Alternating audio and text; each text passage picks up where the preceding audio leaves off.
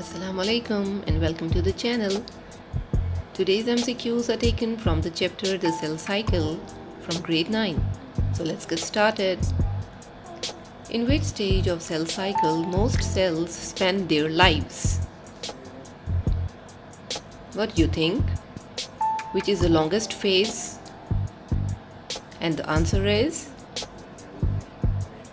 well, about 90% of the cell cycle depends on the interphase.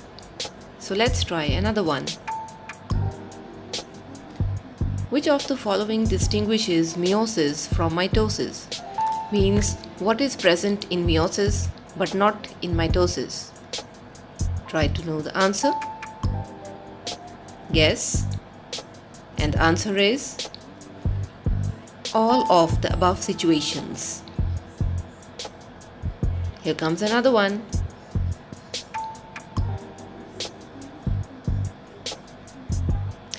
For mitosis, chromosomes of cell duplicate during interphase.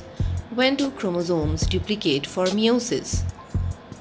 So when will the chromosomes duplicate in meiosis? What do you think? And the answer is that they duplicate before the meiosis 1.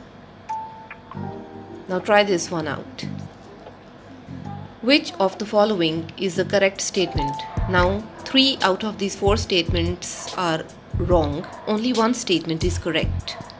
Which one do you think is the correct one?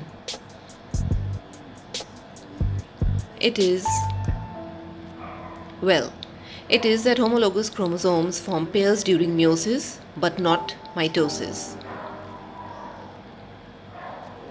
So, what reasons would you suggest for the fact that total DNA content of each daughter cell is reduced during meiosis? Means that after meiosis, only each daughter cell is having half the number of parent cell. Why? You have to give the reason. So, what could be the reason? What do you think? Well, the answer is that the chromosomes do not duplicate between meiosis 1 and meiosis 2. So, that's it for today.